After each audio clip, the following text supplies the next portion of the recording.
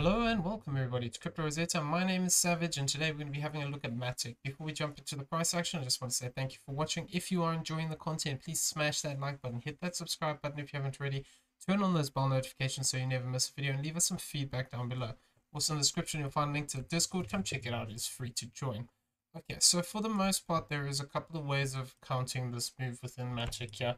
Um, the structure isn't really great at the moment and it is very choppy, but we can potentially argue that we have had an extended wave one here, two, three, four, and then looking for this as a fifth wave. So this is currently how I'm looking at this move, unless we cross above this $1.6771. If we move above that, it would be it would mean that this wave 5 has become longer than the wave 3, which is not a lot. So effectively, if we did that, we'd have to look at the potential of extension here, and we'll talk about that within the video as well. But until we do, this is what I'm currently looking at. Looking at these subwaves within the structure here, um, what we can argue is that we have this as a 1, 2, up into here is a 3, 4, and a diagonal for a fifth. So this would mean that we potentially completed um, this green third wave here, and we're looking for this fourth wave to the downside. So the key point with this is we'd be looking to potentially actually come back into this 148.10 to this 139.06. Ideally, we would want to come down deeper into the zone.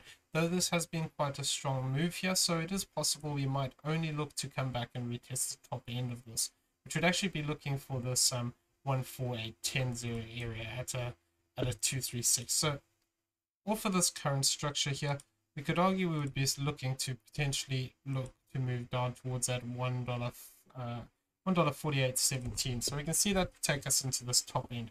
Then from there it would be important. So this this move technically can push up here one more time and then look to break down after that.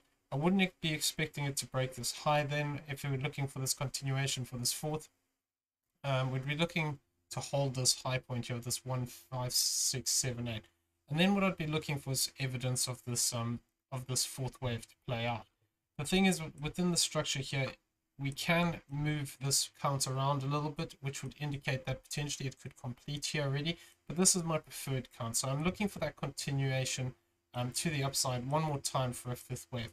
This could fall short, like I said, and only reach sort of the top end of this box area. Or, I mean, in reality, it can, it can even uh, complete above this 236 if it is going to be really small. But um, ideally, we want to see a bit more of a substantial move down here. So what we'd be looking for, ideally, like I said, is a move down into this zone. Uh, losing this uh, $1.3906 would would uh, be the first sort of sign that we could be wrong with this additional fourth and fifth. Though to me, really, the point that I'd be looking at as this 136.05, if we start to break down below that zone, then I'd be looking for actually um, to start and actually break down and look for a, a deeper retracement. But for as long as we hold this zone, we could look for this additional fifth wave to the upside here. Though, like I said, you know, we wouldn't want to we wouldn't want to move above this one dollar sixty seven seventy one. If we move above that, that would actually invalidate the potential of looking at the wave count in this way. And um, effectively, then what we would be looking at is potentially a different structure. So, what I'd be looking for um, if we do move up past that zone is we'd have to we'd have to start taking into account this uh, this. Let me turn this. Uh, let me turn this unaccount off here. The file move. And we talked about this um, a couple of days ago. The potential that you know, if we do start to push up much higher here, and we start to to rally harder here, um, and we actually make it through this zone here of this one dollar seventy five. You know, we can potentially be looking to be within a bigger third wave here, which would look to target out this two dollars thirteen and then looking for that um, basically that additional fifth wave to the upside here of this 247 to this 225 there would be we need to monitor this as it goes because like i said you know we could just actually complete as a fifth here and then break down as long as we stay below that uh, 16771 the way i'd be looking at this then is that potentially we have this as a 1 2 then we'd look at this additionally as a 1 2 and then basically beginning this bigger third wave here. So the incline is good for a third wave but we need to see whether this continues to the upside here. Um, if we're looking at this option, if we do complete this uh, smaller five wave move that we have here, what I'd be looking for is actually holding this wave too low. And what we'd then be looking for is potential to actually come back and retest some of these zones. So if we did move up into that box area that we have here, effectively what we'd be then looking for is actually trying to find support again in this zone here of this 50% uh, to the 786. If that did occur, then we could actually potentially look for a bigger move here where we get this um, this whole move here becomes a wave one come back down for a 2, and then actually look to progress up for that 3, 4, and a 5. So this is this is potentially something that can play out, but we need to just be aware that if we fail to form this additional fifth wave here, it becomes less likely. But really, until we actually break down below this $1.13, we can still look for this continuation. Um, the only thing I have about this is this wave 2 would have been very short, um, which it can happen, so it's not impossible, but uh, I would have preferred it to come down a bit deeper, but uh, yeah, for the most part, as long as we hold this low, we could still potentially look to rally even higher here. And this would be looking for that potential of actually making it up towards this one-to-one -one of the A wave, which would be up here at this $2.43. Um, so this is possible. We also just need to be aware that um, you know this could this could complete that five wave move. And uh, if I come back out here onto the four, let's go back. So let me just remove this extension just so it clears it up a little bit and let's move here so one thing I am also looking at though if we're looking at this potentially as just a three-way move to the upside we can also argue this could become a one two and then we could actually look to progress up in another one two form another one here two and then look for a bigger trending move to the upside. But we don't have that evidence yet. What we'd want to do is see how we react on the retracement. If we're looking at that five wave structure here, we'd want to see that retracement back into that uh, lower range. And I mean, depending on how high we go here, potentially that would be towards this $1.08 to this 87 cent range.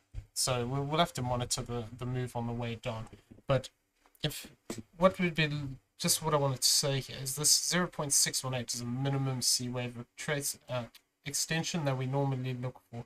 So that 157.50 is the minimum. So technically speaking, after this point, we could actually still have a C wave complete and actually look to um, complete at that point and then have a turnaround. If I just come back out here, I want to just also throw this uh, hood the other way around here. Get onto this high, down into this low. We can also see that uh, this 786 retracement is just above this high here, this $1.8158. So that's also another key area that if we do look to continue extending up here, we could actually look to move up to this one seven, this 786 zone would be quite interesting as a retracement zone. Um, as well as that, you know, we do have some other targets that we can sort of throw onto this.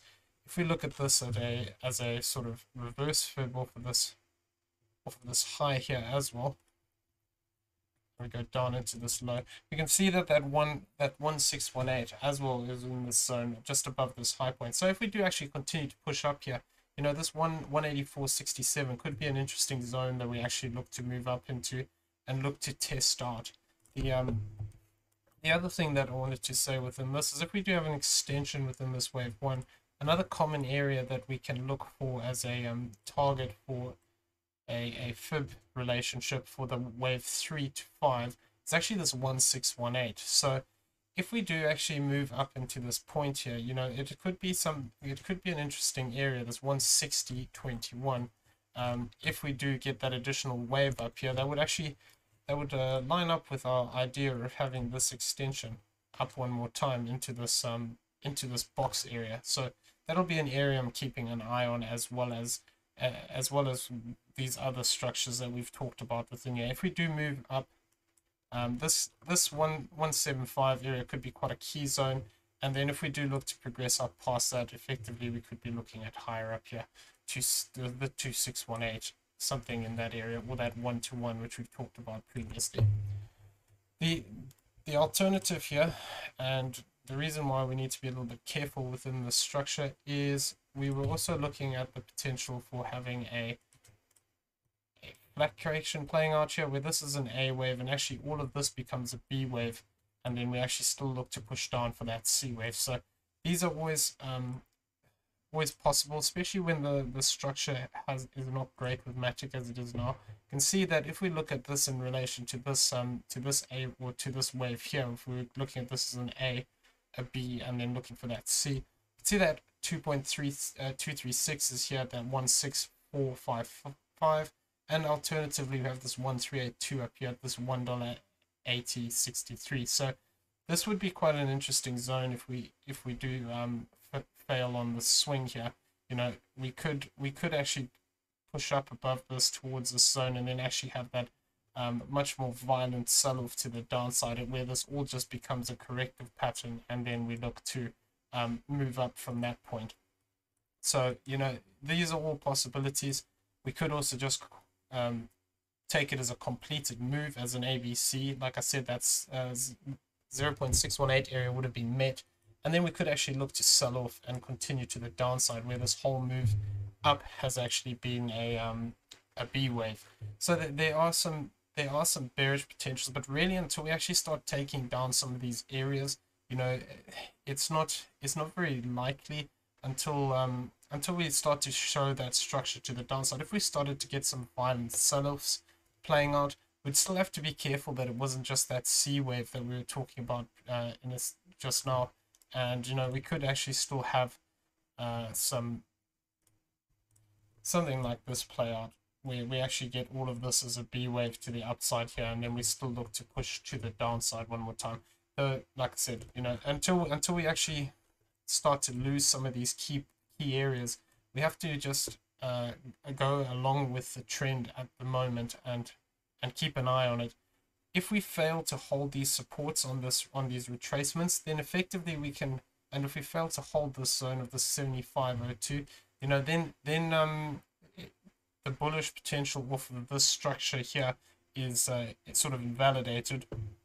Though like I said, you know, we could always just get this as an A, we form a C, and then we push up again. Um, so, yeah, it's one of those things, unfortunately. We're going to have to just keep an eye on it. Okay, so I'm going to leave the video there. I hope you found it useful. If you did, please smash that like button, hit that subscribe button if you haven't already. Turn on those bell notifications so you never miss a video. And why not leave us some feedback down below in the comment section. Also in the description, you'll find links to Discord. Come check it out. It's free to join. As well as that, in the description, you'll find affiliate links for both PrimeXBT and Bybit, both great exchanges we use on a regular basis. Check them out if you don't have an account. Using the affiliate link does help support the channel, and we do appreciate the support. Everyone, have a great day. We'll see you in the next one.